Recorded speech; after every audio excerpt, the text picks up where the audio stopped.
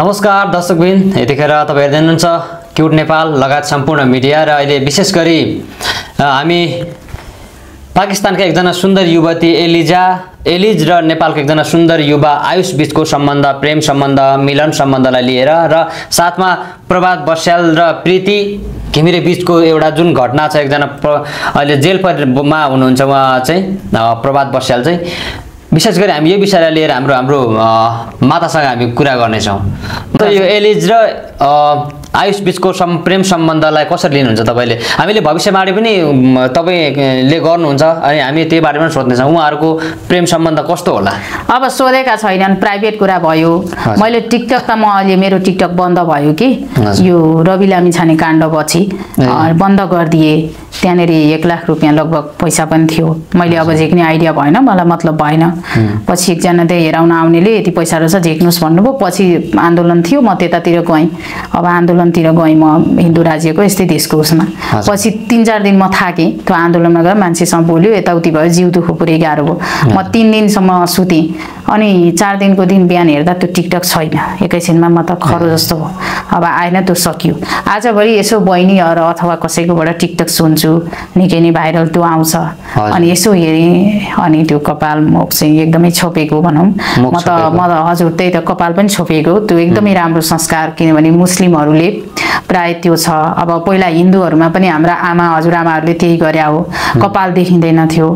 मुख पनि पछ्यौराले छोप्थे। जेठाजु ढाक्ने चलन थियो। अनि देउरानीहरू होइन अब जेठानीहरूलाई पनि ढाक्ने चलन थियो। देउरानीहरू निहुरिनु पर्थ्यो। ती सबै कुराहरू बिर्सिँदै गइयो कलेमा चल्यो। हामी पनि अब परम्परा अहिलेको समयअनुसार चल्न थाल्यो। अब यसमा अब यो लभ भन्दाखेरि मलाई त्यति बिलिभ लाग्दैन लभको कुरामा। म अनम्यारिड मान्छे अब हुन त मलाई पनि मन परायो होला नि कसैले पहिला। मन राम्री लाग्यो भने होला नि ट्यालेन्ट भन्यो होला नि पढ्न त ट्यालेन्ट होइन म। सिधै कुरा भन्नुपर्छ पटक पटक एक्जाम दिएर पास हुने मान्छे मै नै हुँ। अब यसमा त्यो भए पनि मेरा कलाहरू धेरै नै थिए। म गीत गजल पनि गाउने अनि गीत गाउने कला कला एकदम धेरैले सरू भन्ने गर्नुहुन्थ्यो। अनि म पत्र मित्रता असाध्यै गर्थेँ। त्यसमा चाहिँ प्रेम पत्रका कुराहरू पनि आउँथे। अनि म त्यो अस्वीकार गर्ने मान्छे नि पत्रकारजी पहिल्यैदेखि। अब हाम्रो पालामा त यसो केटाहरूको मुख पनि हेरिँदैन थियो। अहिले मात्रै तपाईँहरू पत्रकारसँग अलिक केटा मान्छे भेटेको भनेको पत्रकार केटाहरू नै प्राय आउने। पहिल्यैदेखि त्यो युट्युबहरू आएदेखि अनि तपाईँहरूसँग भेट्ने कस्तो अप्ठ्यारो हुन्थ्यो केटी मान्छे आइदियो हुन्थ्यो नि कोही सोध्न कस्तो सजिलो हुन्थ्यो होला बोल्न टाइपको म पनि अहिले पनि सोध्छु। तर अब तपाईँहरू मेरो भाइ जस्तो केही फरक मान्दिनँ। अब मेरो कामै फेरि केटा मान्छेहरू नै बढी छ भक्तहरू फेरि। पढे लेखेकै आउनुहुन्छ त्यस्तो त्यो त्योतिर हाम्रो ध्यान पनि भएन। हामी ज्ञान गुण उहाँको पीडाका कुराहरू सुन्ने र भनिदिने कुरा गर्ने हो नि त काम त हाम्रो। अनि मलाई त्यो प्रेम भन्ने कुरा चाहिँ पहिल्यैदेखि अलि रिजेक्ट टाइपकी मान्छे परेँ। हजुर। अब तपाईँले त्यहाँ प्रेम सम्बन्ध भन्नुभयो त्यो पनि मैले एकछिन रमाइलै तरिकाले हेरेँ पनि। अनि हेर्दाखेरि चाहिँ अचम्म पनि लाग्यो अनि मलाई त आँसु पनि आयो। त्यो एउटा भिडियो म एउटा साथीकोमा दिदीकोमा थिएँ यो थेरापी गर्ने सिलसिलामा। म उता बाहिर थिएँ अस्ति। अस्ति दुई तिन दिन त भयो म आएको। अनि तपाईँको त्यहाँ हेरेँ मलाई आँसु आयो अनि किन आँसु झारेको भन्नुभयो उहाँ दिदीले। "अँ, बिचरा माया भनेको यस्तो हुँदो रहेछ हेर्नु यति सानी बहिनी कस्तो लक्षिन कि? अनि यो भाइ पनि कस्तो ट्यालेन्ट मैले त देखाएको छैन। एकचोटि मसँग मेरो टिकटकमा त्यो भाइसँग पनि मलाई पहिल्यै बोलेको जस्तो लाग्छ उहाँले कल गरेको जस्तो लाग्छ टिकटकमा। हजुर। अलि रमाइलो कुरा गरेको थियो। मैले चिनिया पनि थिइनँ। म म तपाईँलाई चिन्छु भनेर बोले जस्तो लाग्यो। होला बोलेको उहाँलाई थाहा होला। त्यो मैले चाहिँ पुरानो कुरा पनि सम्झेँ। त्यो बाबु के? त्यो ठकुरी भाइ। हजुर, आयुष। त्यही नामको थियो। त्यही भाइ नै हो भन्ने कुरा मैले ख्याल गरेँ पछि अब म त्यति टिकटकमा अहिले छैन नि त। फागुनदेखि मेरो टिकटक बन्द भएको। एउटा कुरा म्याम जस्तो क्वेसन सोधौँ कि जस्तो उहाँहरूले हाम्रो पनि भविष्यवाणी गरिदिनुहोस् न भनेसम्म चाहिँ भविष्यवाणी अलिकति असहज हुन्छ हो म्याम के के हो म्याम मलाई चाहिँ यस्तो छ। तपाईँको फोटो राम भन्नेले ल्याएर देखायो भने म हेर्दिनँ। तपाईँ नै चाहिन्छ। श्रीमतीको फोटो श्रीमानले ल्यायो भने मलाई श्रीमती नै चाहिन्छ। श्रीमतीले श्रीमानको फोटो देखायो भने म सक्दिनँ। तपाईँहरू हाम्रो लेभलको लागि बुढाबुढीलाई त ठिक छ म बाबा बाबा आमालाई त म फोन गरेर बुझाउन सक्छु। भर्खर कालमा अलिक कन्भिन्स गर्न सकिँदैन। आउनै पर्छ। जोडी। र अब एक्लै कोही कोही त्यस्तो आपत्तै पर्यो भने ल नानी यस्तो देखिन्छ भनिदिने हो।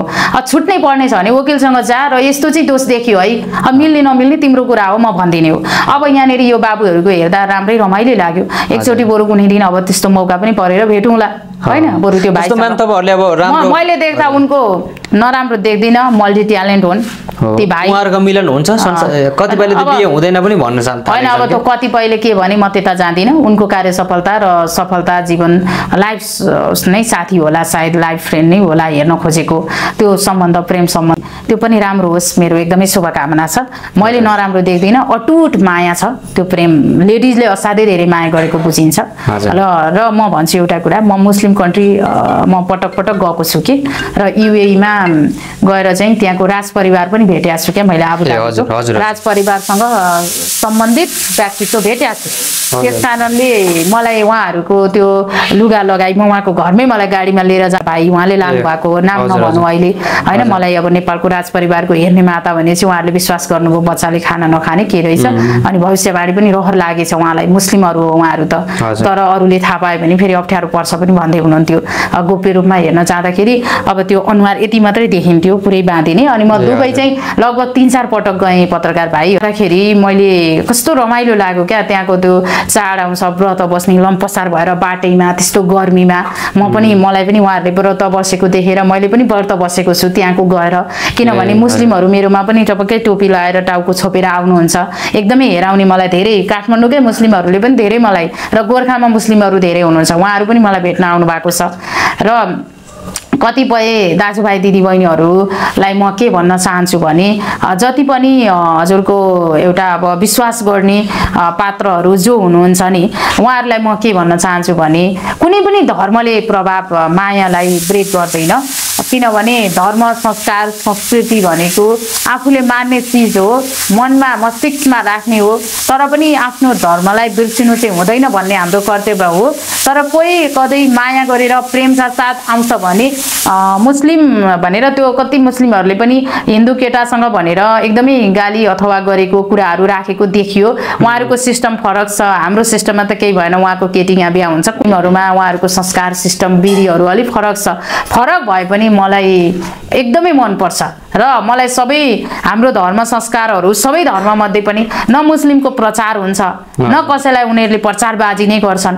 उनीहरू आफ्नो चाहिँ उसमा बसेर चाहिँ धर्म कर्मप्रति जुन संस्कार छ उहाँहरूको धेरै अप्ठ्यारो संस्कार नै छ। रीतिहरू होइन रिवाजहरू त्यो मलाई मनपर्छ। त्यसैले म उहाँलाई एकदमै स्वागत गर्छु मेरो नेपालमा। उहाँ आउनुभयो घुम्न र कामना दिन्छु।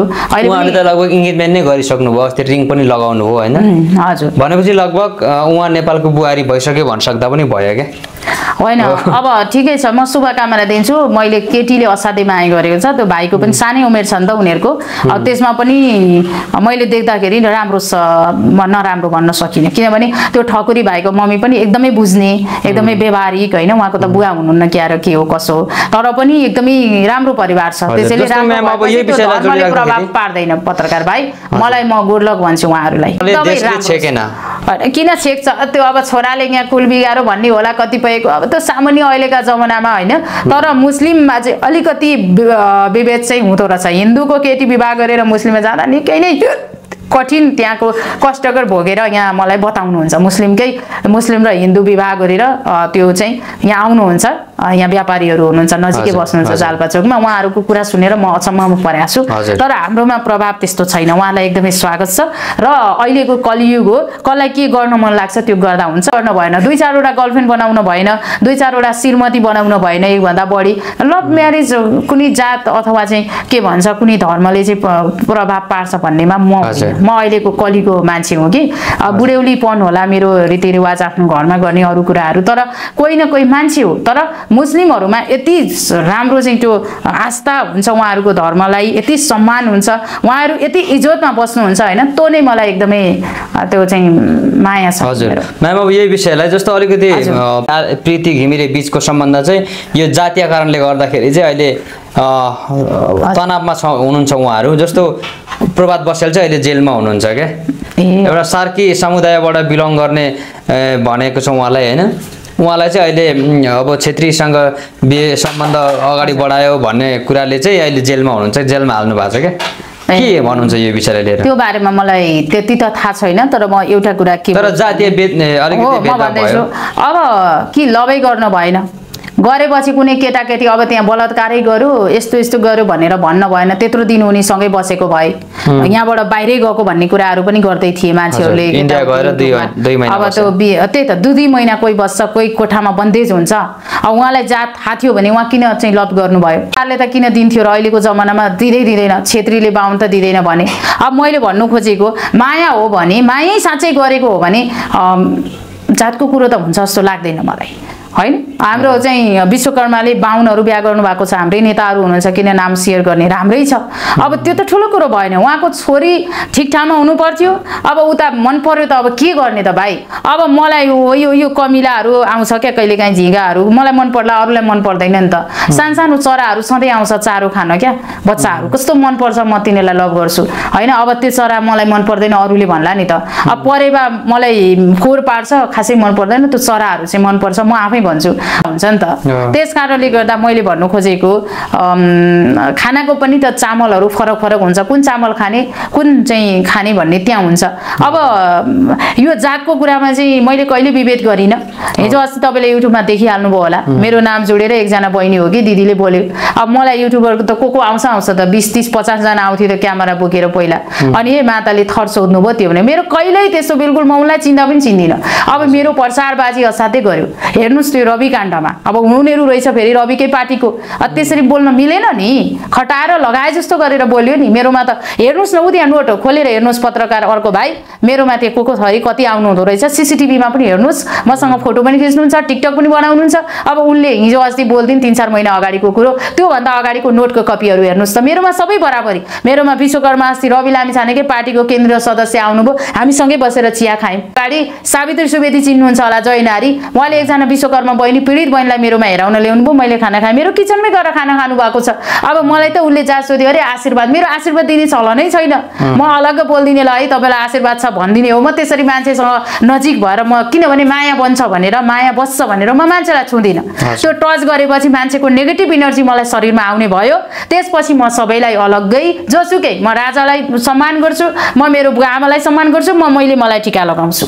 बुझ्नुभयो? म मन्दिर जान्छु नि। मन्दिरको पुजारी त मभन्दा चोखो होला नि त। लोग्ने मान्छे हुन्छ पुरुष हुन्छ हामी त महिनावारी हुन्छौँ अशुद्ध हो नि त होइन? महिलाहरू त प्राय गरेर। म उहाँहरूको टिका म आफै अबिर ल्याउँछु यसो मन्दिरमा चलाउँछु आफै टिका लाउँछु। म लाउँदिनँ। किनभने कारण छ नि दुनियाँले टिका लाउनु भएको हुन्छ त्यो टिका त्यही मिसिएको हुन्छ भने विभिन्न रोगीहरूदेखि लिएर मानसिकदेखि लिएर धनी गरिब सबैको गोलमाल हुन्छ। जस्तै मैले भन्ने गर्छु पत्रकारजी तपाईँको जुत्ता मैले लाउनु भएन मेरो जुत्ता तपाईँले भएन अरूको जुत्ता चप्पल हुन्न कायुले कोर्न हुन्न होइन अरूले खाने थालमा खानु हुँदैन यस्ता कुराहरू छन् नि पत्रकारजी। अनि मान्छेले कुरो बुझ्दिँदैन। अब त्यहाँनिर हेर्नुहोस् त मैले कहाँ जानु त्यसलाई लडाउनलाई कराउनलाई उसलाई चर्चित बनाउनलाई त्यो होइन नि। मैले त्यो रुकुम काण्ड भयो नि काण्डमा पनि बाहुन र छेत्री र विश्वकर्मा। त्यो पछि मरे नि ती केटाहरू। उनको कस्तो सपोर्ट गरेर म बोलेँ विश्वकर्मा नेताहरू आन्टी अङ्कलहरूले मलाई कति फोन गर्नुभयो यहाँ भेट्न आउनुभयो। तपाईँ त जातीय विभेद गर्नुहुन्न रहेछ। तपाईँ एकदम साँच्चेको मोडिल माता हुनुहुँदो रहेछ भनेर भन्नुहुन्छ। मेरो बेस्ट फ्रेन्ड एकजना पूर्व सिडिओ हुनुहुन्छ हुमलामको सिडिओ सीता परियार। उहाँ पनि मेरोमा अस्ति आमा लिएर आउनुभयो यहीँ बसेर हामीले खायौँ। त्यस्तो हाम्रो छँदै छैन। म उहाँको घर जाँदैछु। बडो अचम्म लागेको त्यो एकजना बहिनी हो कि दिदीले हेर्नुहोस् टिकटक अथ- अथवा चाहिँ हजुरको युट्युबभरि नै ओह्रालो लागेको मृगलाई धपा ऊ गाईको बाछाले खेदाउँदा पनि खेदिन्छ भन्ने हिसाबले खेद्यो। म चिन्दिनँ नि त उसलाई उसलाई मेरो बारेमा बोल्नुपर्ने जरुर छ त भने छैन म के भन्छु भने यसैसँग। जोड्छु। लभ नगर्नु पर्थ्यो छोरी ठिक ठाउँमा राख्नु पर्थ्यो राखेपछि त्यो केटाको पनि कमी कमजोरी मलाई लाग्दैन ऊ त्यस्तो बलात्कार ए सुन्नु है बलिङ गर्थ्यो बलात्कार छोडिदिन्थ्यो। उसले माया गरेको त्यो दुई महिना बस्यो के कसो हो पत्रकारजी। मलाई लाग्दैन फेरि मलाई विभेद नहोस् है मैले छेत्री बाहुनलाई धेरै गाली गरेको भनेर धेरैले बुझ्दा रहेछन्। मैले सत्य भन्दैछु बाहुनहरूले देशमा राज्य गर्न सक्दैन दस वर्ष भयो यो भनेको। उनीले देश भ्रष्टाचार गर्छन् उनीहरू बाठा हुन्छन् लुट्ने काम मात्रै हुन्छ भनेर भनिरहेका छु। यस्ता खालका शब्दहरू सुनिरहेकै होला तपाईँहरूले पनि। मैले अरू धेरै शब्द बोल्न नसके पनि म धेरै बिरामी छु म धेरै त्यस्तो लेखाजोखा म अहिले युट्युब पनि हेर्दिनँ यस्तो गन्थनी मन्थनी कुराहरू मैले छोडिसकेँ। सुन्नुहोस्। त्यो चाहिँ स- समीक्षा काण्डदेखि मलाई मन पर्दैन। तर पनि तपाईँले मलाई सोधिदिनु भयो। सत्य कुराको लागि मैले आवाज उठाएको हो नि त। आखिर मैले रवि काण्डको पनि त भनेको भयो नि त। पछि मुद्दा कसले हाल्यो? मुद्दा आखिर रविले हार्यो? नागरिकता रोइने रहेछ। पछि भोलिपल्ट लिएर आउनु पर्यो। देशको गृहमन्त्री भइसकेको मान्छे भोलिपल्ट खिच्रिक पर्दै दुई दिनपछि नागरिकता लिएको देखिहाल्नु भयो होला। पल साथ जेल जान्छन् ती भाइ भनेर मैले यसरी नै बोलेँ। झेलै गए जेलबाट निस्के अस्ति फुलमाला लगाए मान्छेले। उहाँ निस्किसक्नु भएको छ। अब अस्ति समीक्षाले बोलेको कुरा पनि सुनिहाल्नु भयो होला। अहिले गीत भाइरल छ। हिजो अस्ति समीक्षालाई गाली गरेर सत्ताउनु शराब फलानु फल उनकै गीतमा उनले गाएको गीतमा भनौँ उनले गाइन् गीत कति राम्रो रोइ कराइ गर्दै गीत बनाइरहेका थिए। त्यही भएर मन परेन मलाई छि नभन्नु। त्यो मान्छे आफ्नो पति श्रीमान हुनसक्छ आफ्नी पत्नी र श्रीमती हुनसक्छ त्यसैले गर्दाखेरि नि आज मलाई गाली गरेको छ। भोलि एक दिन मलाई खुट्टा ढोग्ने पर्दैन मलाई। नमस्कार मलाई तपाईँ चाहियो भन्दै आउनुपर्छ। पाँच छजना त आइसके पत्रकारजी हजुर। सिसिटिभीमा हेर्नु भने रोइ कराइ गरेका छन्। मलाई माफ देऊ माता देवी मलाई माफ देऊ। तिमीलाई मैले गलत गरेँ मेरो घरमा अशान्ति भयो भनेर आएका छन्। एकजनाको छोरी बितेछ टिकटकमा भाइरल थियो। एकजनाको के ज्वाइँको के छोरीको खटपट भयो भन्दै थिए। आखिर उनले के जोडे मसँग रिलेटेड जोडिदिए। मैले मातालाई गाली गरेको थिएँ मेरो परिवारमा यस्तो हो त्यो होइन नि त गाली कसैलाई नगर्नु राम्रो हुँदैन भन्ने कुरा त बुढापाकाले भन्छन्। हजुर। म्याम के भन्नुहुन्छ म देखेको कुरा भनिदिएको हो, माया नगर्नु गरिसकेपछि आजीवन आजीवन गर्नु। मायाको म विरोधी हुँ।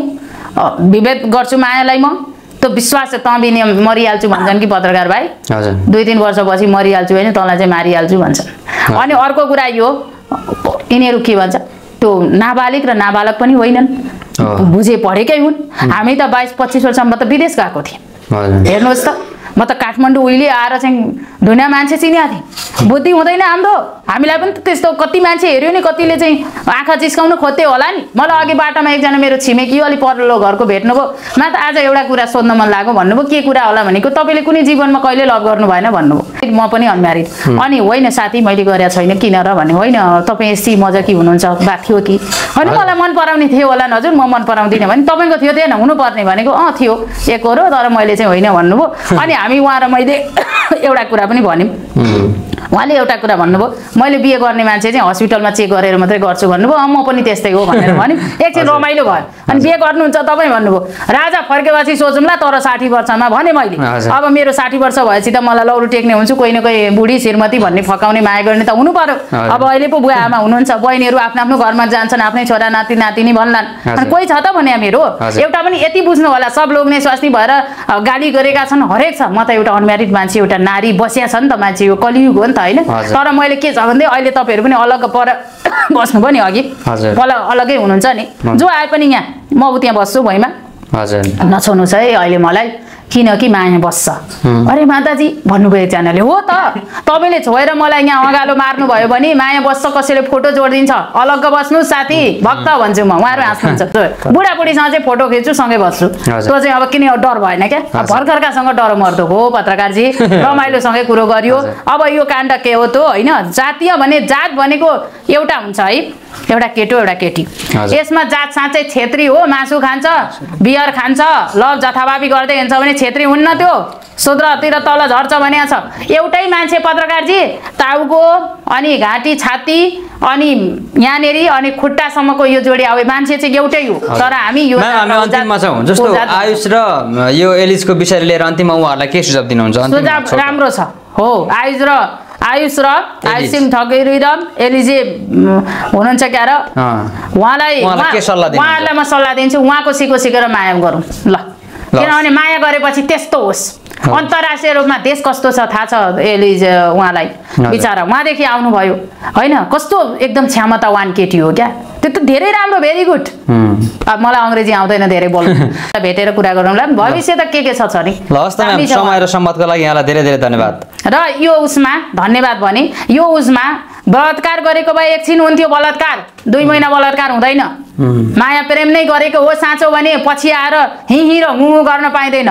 कि लबै नगर्नु गरेपछि बुझेर गर्नु। कुरो बुझ्नुभयो? ए पत्रकारजी कुकुरले स्यालसँग मित्राउँछ भने कुकुरले साथी कुकुर बनाउँछ स्यालले स्याल बनाउँछ भैँसीले गाई बनाउँदैन गाईले गाई नै बनाउँछ बाख्राले बाख्रै बनाउँछ र भैँसीले रागै बनाउँछ अथवा रागै हुन्छ भने जस्तै यो सबैको छ।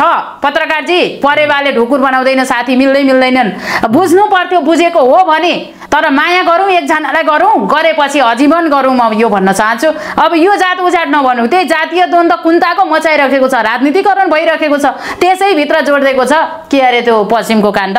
भाइरल छ ढुङ्गा मुढा भएको छ। त्यो केटाको ज्यान जोगाउन गाह्रो स्थिति छ परिवारमा कस्तो होला?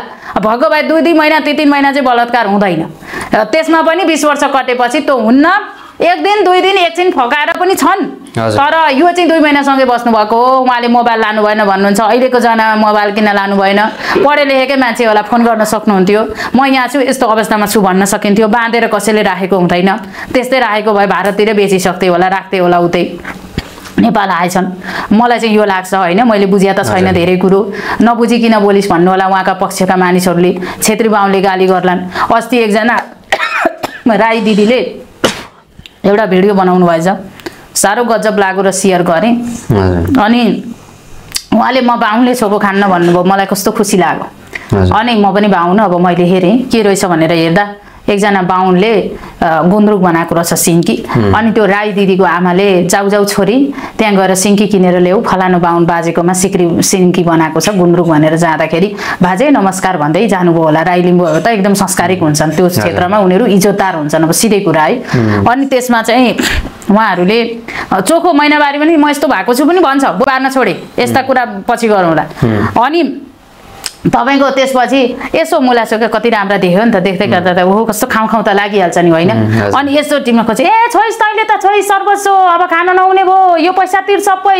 तैँले छोइस् तँलाई अब के गर्नु भनेर अचम्मको गाली गरेछिन् ती बाहुनीले। र ती बाहुनले। अनि त्यस्ताले छोको खानु भन्दा त बुझ्नुभयो? शुद्ध पवित्र हुनुपर्छ मान्छे भएर। मासु खान्छ दुईटा विवाह गर्छ। तिनवटा विवाह गर्छ चरित्र बिग्रेको छ चारित्रिक ठिक छैन नैतिक चरित्र ठिक छैन। भने त्यस्ता मान्छे चाहिँ फटा हुन् तर एउटा लिम्बू राईको छोरी शुद्ध पवित्र नुहाइ धुवाइ गरेर शुद्ध भएर या ननुहाएर पनि गएको छ किन्न? यसो सुकाएको रहेछ खायो भने। त्यस्तो पनि हुन्छ कुरो। त्यसो भए तपाईँहरू विदेशबाट चिज खाइरहनु भएको छ। के खाँदै हुनुहुन्छ बाहुनी आमाहरू? म यो भन्न चाहन्छु त्यो हो भने त तपाईँले गाउँमा बसेर खाउँ न किन सहरमा बस्नुभएको? गाउँमै खोदालो खानु खाउँ। मैले यो भन्न चाहन्छु उहाँले ठिक कुरा के गर्नुभयो भने म त्यसैले बाहुनहरूबाट अझै अझै भएको छु म अगाएको छु म खाँदिनँ हो त।